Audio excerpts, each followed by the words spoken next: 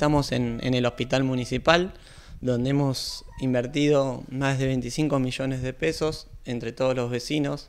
eh, con el pago de sus tasas. Eh, hoy esa inversión lo que va a generar es que podamos tener en el hospital municipal una terapia intensiva específicamente para enfrentar la pandemia, que cuente con todos los elementos necesarios para, para que esta pueda funcionar eh, de la mejor manera, con los respiradores, eh, con los monitores y los elementos de bioseguridad necesarios para poder enfrentar y tener eh, todos los recursos para poder trabajar en conjunto. Se va a reforzar también con, los terapistas y enfermeros necesarios para estar preparados